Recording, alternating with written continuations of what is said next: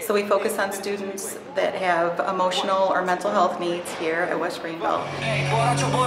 Well, one of the things we really try to do is make school a place where students want to be. A lot of our students have had educational experiences that um, that made them think that school was not fun for them.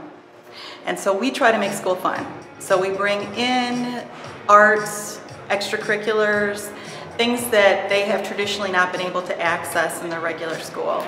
So the goal is for them to think, there's something great happening at school today, I want to come to school today, here's all the reasons why I want to be positive and have a great day. It helped me express a lot of what I was going what was going on in my mind mentally and so using a canvas or hearing music was a was a great way of letting all of that out.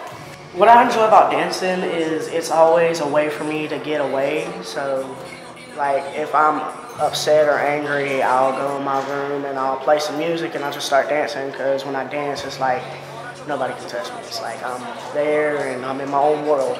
Seven, eight, very nice. You got perfect timing there. Nice, nice, nice work for that team.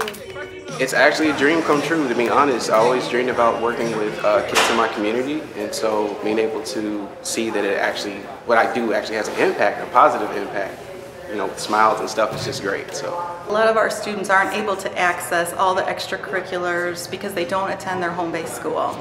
So and we know that the reason why a lot of students stay at school is all that extra stuff.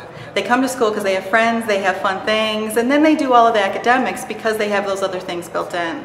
So Nick bringing in this hip hop class has been wonderful. The kids look forward to it. It's Wednesday, Nick's, Mr. Nick is coming, and, um, and they really get into it and they love it.